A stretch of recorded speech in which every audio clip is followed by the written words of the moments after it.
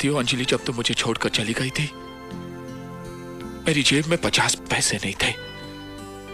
लेकिन आज मेरे पास पाँच सौ करोड़ रुपए है। पाँच सौ करोड़। जानती हो, पचास से पाँच सौ करोड़ का सफ़र मैंने कैसे तय किया होगा? तुम सोच भी नहीं सकती।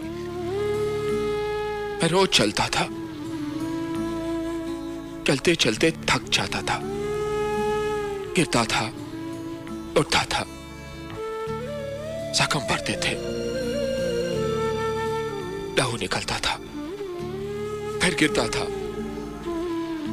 लेकिन तुम्हारी आवाज़ सूरज की किरणों की तरह मेरे दिल और दिमाग से चीर के निकलती थी और कहती थी, एक कदम और देव, एक कदम और। फिर कदम से कदम मिलाकर मैंने पचास से पाँच सौ करोड़ का सफ़र तय किया।